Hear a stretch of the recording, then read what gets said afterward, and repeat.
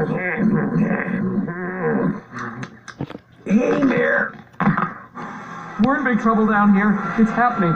It's snowing in the middle of summer. It's the end of the world. Hold on, Mayor. I think I know what your problem is.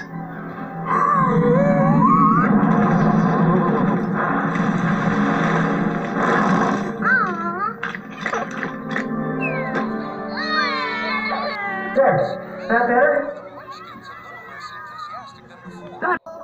Nothing in Whoville had ever gone wrong.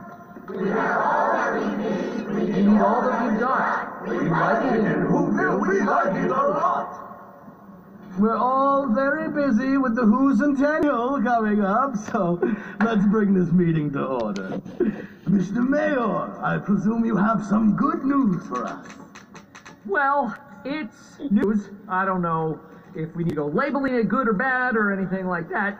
The thing is, I have noticed some odd goings on in Whoville lately. Good ongoing luck.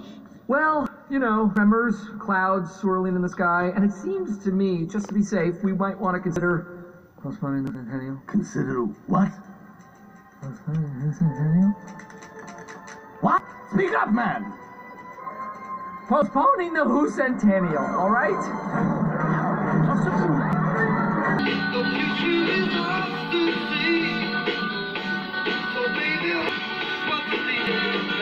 Celebrate 100